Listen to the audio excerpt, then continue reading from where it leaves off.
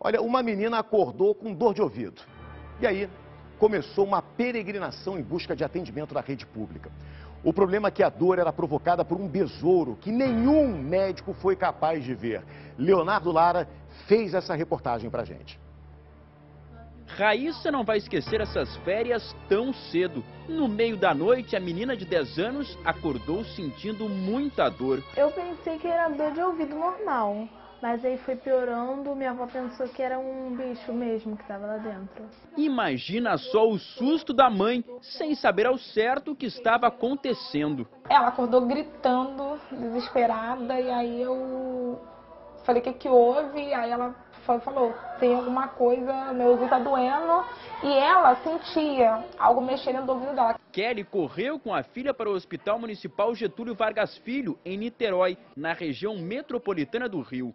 Foi uma longa espera e nenhuma resposta dos médicos. E a médica falou que não tinha o que fazer, falou que o aparelho dela tinha quebrado.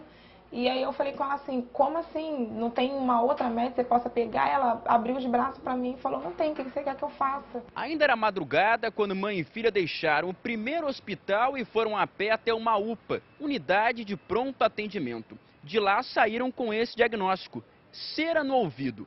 Nem com os aparelhos, a médica conseguiu descobrir o real problema. No caminho até em casa, a Raíssa não parava de reclamar de dor. Kelly, o que, que você fez diante da sua filha chorando, reclamando muito? Eu falei para ela, filha, espera a medicação, né, que a médica aplicou, a injeção de dipirona fazer efeito.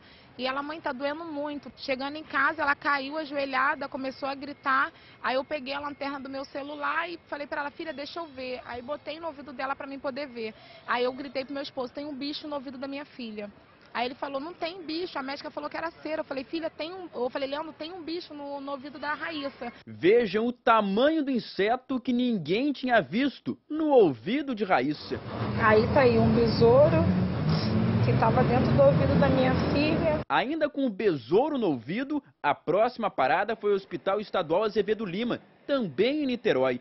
Os médicos alegaram que não tinham os equipamentos necessários e decidiram transferir a paciente para outra unidade, no Rio de Janeiro. Mas a ambulância não chegava para levar Raíssa.